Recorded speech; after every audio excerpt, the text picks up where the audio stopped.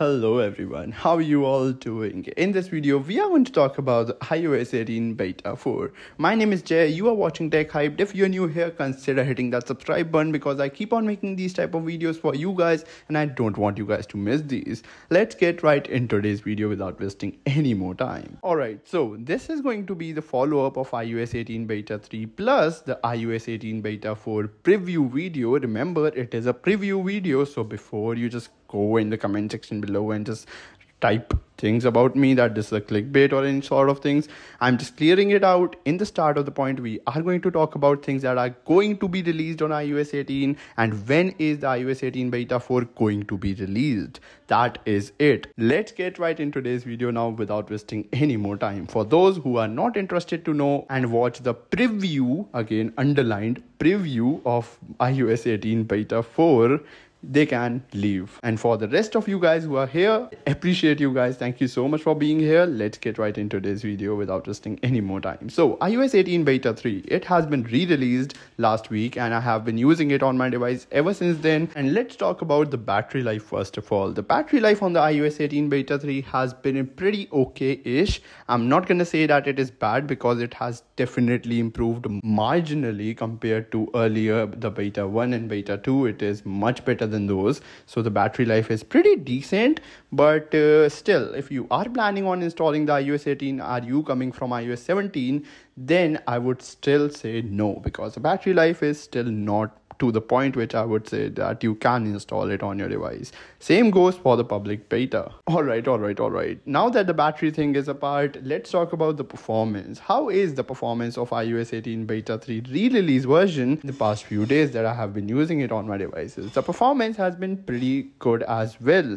I have not really had any issues in terms of performance. It is not amazing but yeah it is not bad either. So again it is somewhere in the middle. It is pretty decent and uh, a bit above decent and a bit below really good. So you know what i'm trying to say. All right now let's talk about the ios 18 beta 4 which is the interesting part of this video. When is iOS 18 beta 4 going to be released? The day I'm posting this video, it is 22nd of July today and Monday. That means Apple is going to release iOS 18 beta 4 as soon as today.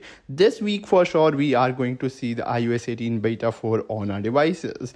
Probably later today or if not today, most likely we are going to see it tomorrow. The new things that are coming up on the ios 18 beta 4 is number one thing that is new is going to be customization option the home screen icon customization options are going to get tweaked and we are definitely going to see much more customization options.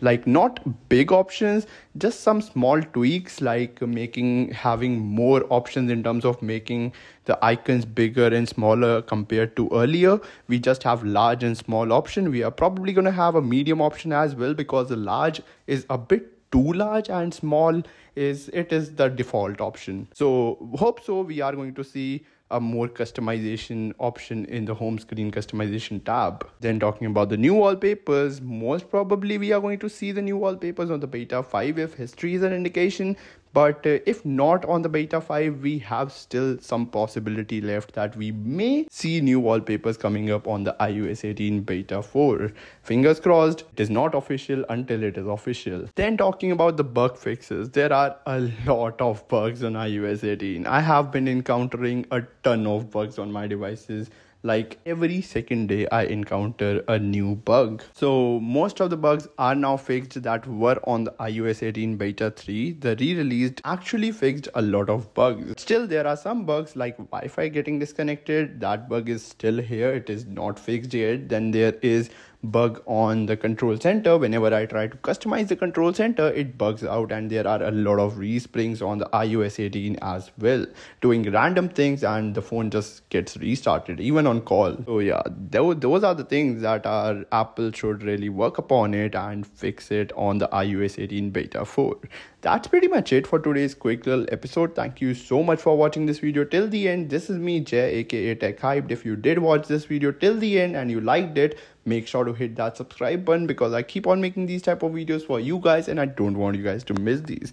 Let me know down in comments below what kind of videos do you want me to make. I will make sure to make those videos for you guys as well. Peace out and have a great day everyone